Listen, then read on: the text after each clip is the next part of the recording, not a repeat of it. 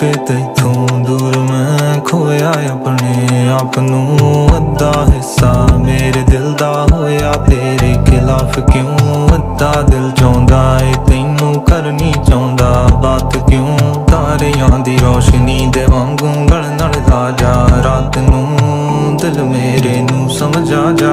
ਹੱਥਾਂ ਵਿੱਚ ਹੱਥ ਤੂੰ ਪਾ ਜਾ ਪਹਿਲਾਂ ਜੋ ਦੇਖੀ ਨਹੀਂ ਮੈਂ ਐਸੀ ਦੁਨੀਆ ਤੂੰ ਦਿਖਾ ਜਾ